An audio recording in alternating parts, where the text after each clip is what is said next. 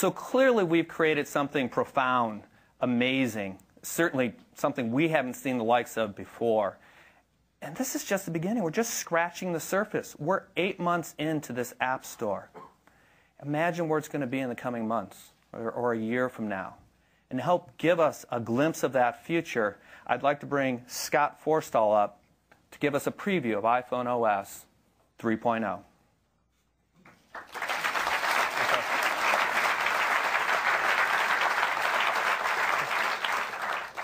All right, I'm here to tell you about iPhone OS 3.0.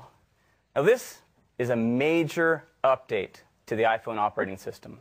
And that's the operating system that runs on all iPhones and iPod Touches. It comes with incredible features for developers and for our customers. Let me start by telling you what we're doing for developers.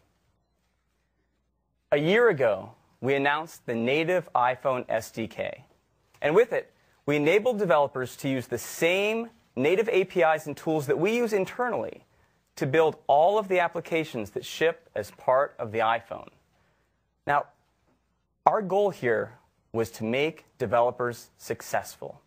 We gave them the best tools and APIs and frameworks ever for building applications. And what they did with this blew us away. As Josh showed, to the tune of over 25,000 apps in eight months. It's incredible. So we've spent the last year working hard to make this SDK even better. And I'm happy to say that with iPhone 3.0 comes the next generation of this native SDK. And with it come more than a thousand new APIs. This is a lot of functionality to make these apps even easier to develop and allow developers to add even more functionality. Let me talk you through just a little bit of the functionality from this new SDK, starting with enhancements we're making to the App Store.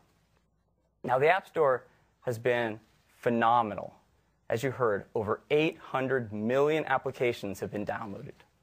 This is amazing. It is the best way ever for developers to get their applications out to our collective tens of millions of users. It's also a great business deal. Developers can give their apps away for free, or if they choose, they can sell them. If they sell them, the developer picks the price. 70% of the revenue from that price goes straight to the developer. There are no credit card fees. In fact, there are no hosting fees or other infrastructure fees. Apple covers all of that. And developers are paid monthly. So it is a great business deal. But we've been listening. And some developers have come to us saying there are other business models they'd love to support for their applications. For instance, subscriptions. Right? There are publishers out there of things like magazines that would love to have a magazine application right on the store where you can renew that subscription inside the application. There are game developers who would love to add additional levels and be able to sell game levels right from within the game. And there's a lot of other new content that developers like to sell inside an application. For instance, an ebook. Today, you have to sell one application per book.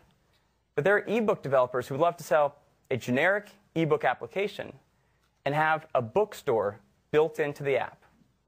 Well, I'm happy to say that we are supporting all of these additional purchase models in iPhone 3.0. And we're doing it with what we call in-app purchase. Let me show you how it works.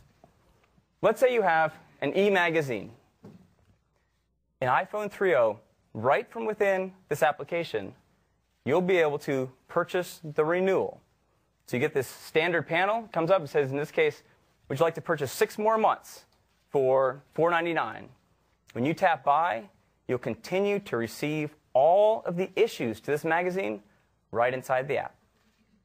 Next, a game. You can now purchase a game that would come with, say, 10 levels.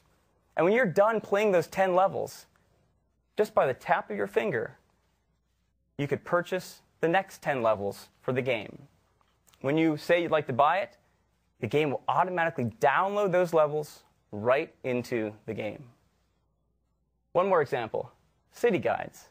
Again, before iPhone 3.0, you would need to sell one application per guide. With iPhone 3.0, you can sell a generic city guide application and then sell city packs. So you can see here, I've already purchased, say, the Boston and the New York City pack. But let's say I want to purchase Chicago. That's as easy as tapping on Chicago, it brings up this standard alert asking me if I'd like to purchase it. Now, here's where it's really nice. This whole thing is tied directly into the iTunes store. So when you tap on buy, it brings up a standard iTunes credential panel. In a secure way, you now get your username, you type in your password, and when you do, it talks back to our iTunes store, validates the account, and when it approves the purchase, the application is free to download that city guide right into the app. And now you're good to go. So, in app purchase. The business model for in app purchase is the same as for the App Store, meaning the developer sets the price for in app purchase items. Again, 70% of the revenue goes straight to the developer. There are no credit card fees. We will cover all the credit card fees. And developers are paid monthly. Now, to keep the model simple for the consumer, this is for paid apps only. So if a developer sells an application and it makes sense in that application to have an in app purchase, say for a subscription, you're absolutely happy to go ahead and do that. But to keep it simple, when a consumer sees a free application, free apps remain free. You won't be asked ever to buy something inside that free application. And that's what we're doing for in app purchase. Next,